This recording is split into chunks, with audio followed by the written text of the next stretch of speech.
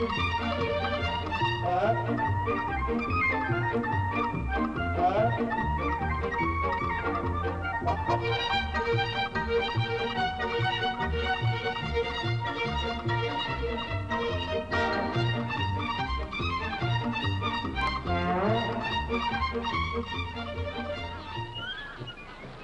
in the northeast corner of Ulster lies Portstewart. Apart from being famous for its golf courses, this little seaside town has, since 1929, been the start and finishing point for Ireland's annual North West 200 motorcycle races. Run over a course of 11 miles, it has three classes, the 500, 350 and 250cc models, all racing at the same time, but with half-minute intervals between the mass starts of the different classes. In the paddock, the usual pre-race excitement is everywhere, as the machines are checked and fueled.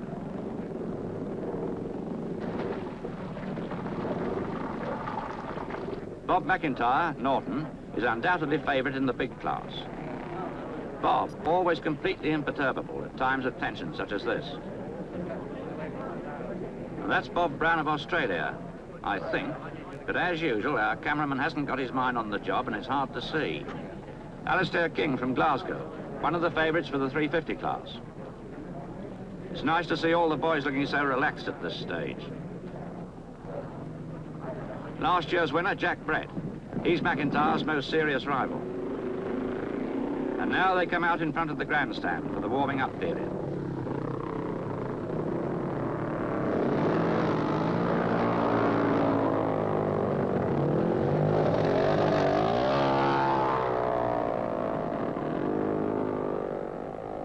Hmm, I wonder just what Bob's thinking about. Number seven, that's Geoff Tanner, who's expected to be somewhere up on the leaderboard.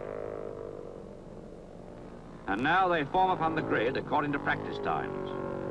In pole position is Bob McIntyre, slightly faster than Jack Brett. G. Purvis from Belfast on the BSA and Bob Brown from Australia on a Norton complete the first row.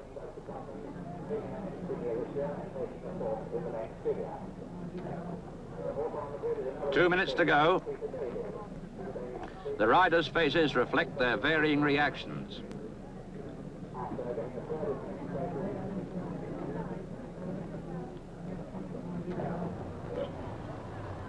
The flag's up.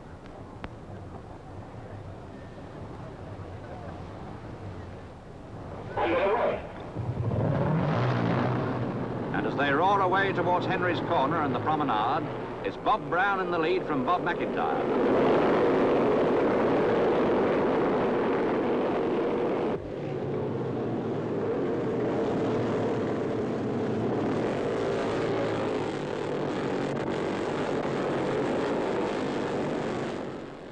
As the 500 class races along the promenade and onto Coleraine, back to the start of the 350s. Plus Bill Smith, a 500cc late starter.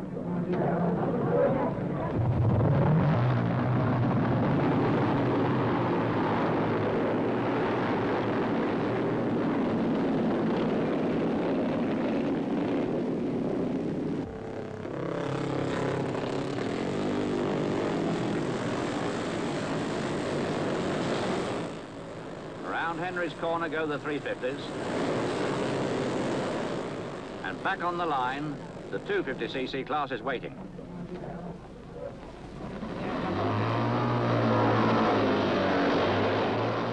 And now the whole field is away. Already, down at Milburn Hairpin, the 500cc leaders are appearing. And it's Bob McIntyre first, five seconds ahead of Jack Brett.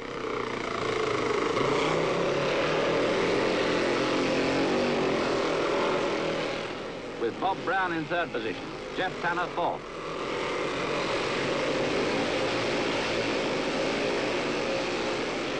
Over Shell Hill Bridge and along the fast stretch to Metropole Corner in Portrush goes McIntyre, widening the gap between the field, as they, in turn, take the tricky S of the bridge. Now down at Portrush, McIntyre is six seconds ahead of Brett and is beginning to move really fast.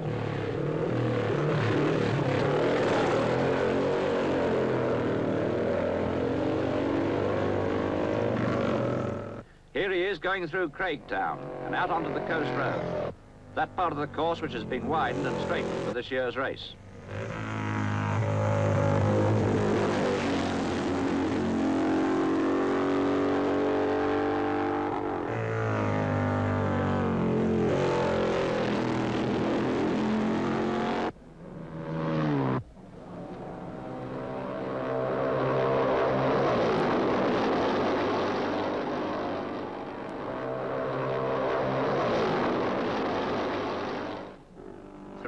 Corner with its tricky exit, and a lamppost in your way if you overdo it, McIntyre and Brett are quickly leaving the field far behind.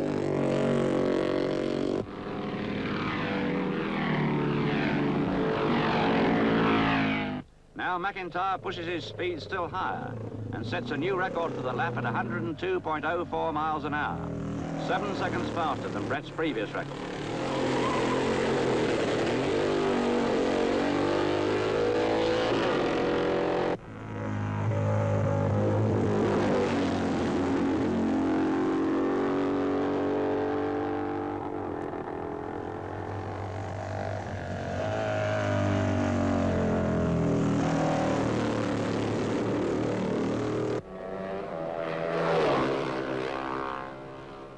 Number 52, Alastair King, is leading the 350 class, and incidentally is ahead of quite a number of 500s.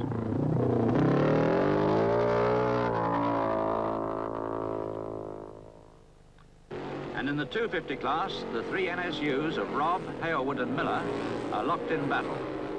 At Shell Bridge, Brooks, Daniels and Brown have their own struggle for fourth place in the large class. And now showers of rain come riders are never sure if the road around the next bend will be wet or dry. And at Henry's Corner, it's definitely wet.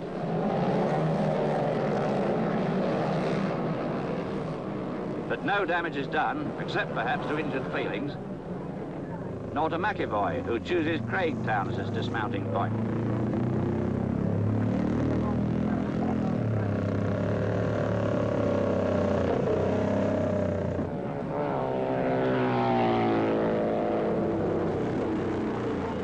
Here comes Ken Patrick, second man in the 350 class, for a quick fill-up. And soon they'll all begin their refueling stops. But no one is expecting the leaders to need fuel, and it's a surprise when after eight laps, McIntyre comes in for a top-up.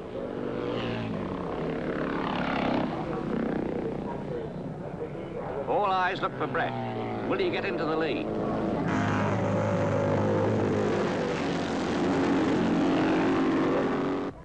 Comes along the seafront. And he's past the pits and away with Bob still standing there.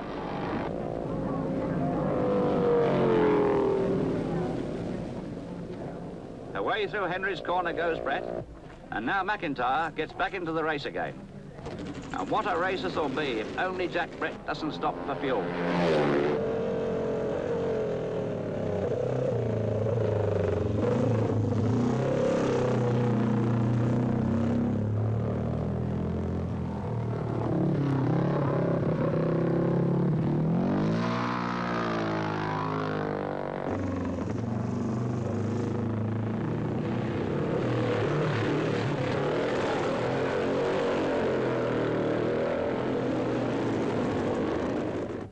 At the pits, the signal board is out for him, and here comes Jack for a very rapid stop.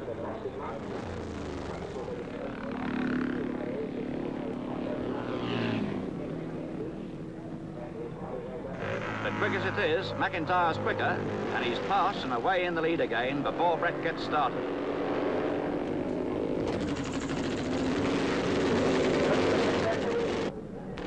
Once again, the order reverts to McIntyre first, Brett second.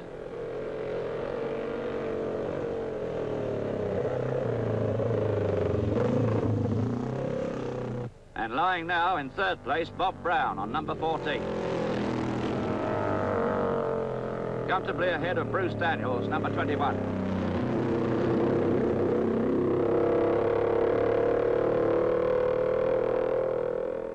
The 350 class, number 52, Alastair King, has over a minute's lead from Patrick.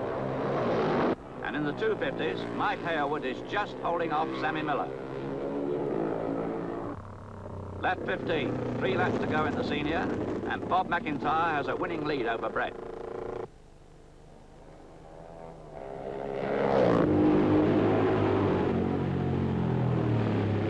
Through Millburn and up the slope to Shell Bridge.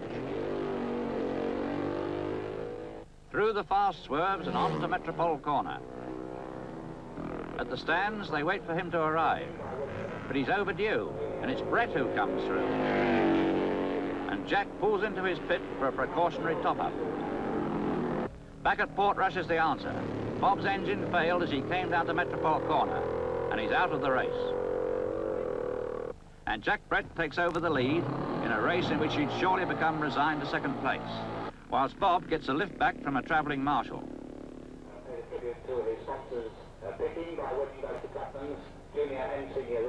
But Bob still finds time to sign autographs, a difficult job to do at a moment filled with disappointment. And Brett goes through with only two laps between him and victory.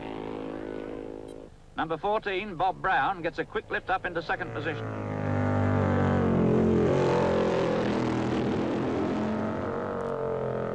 Into third.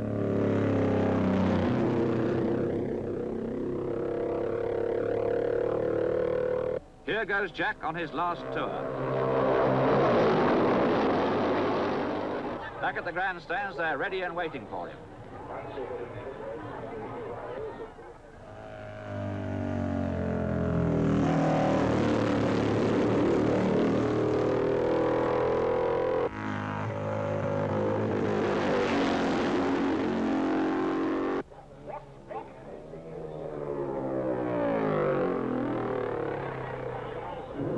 Goes the winner to his pit as the rest of the field gets the checkered flag.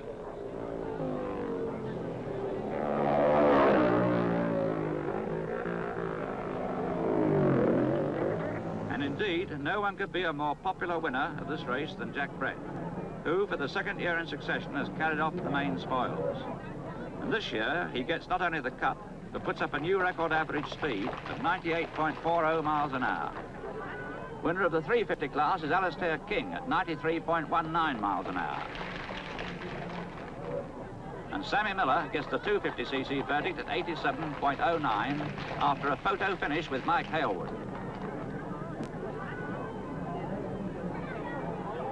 And so ends the 1958 North West 200, the 22nd meeting of a classic event in the motorcycling calendar, which all enthusiasts hope to see continue for many years to come.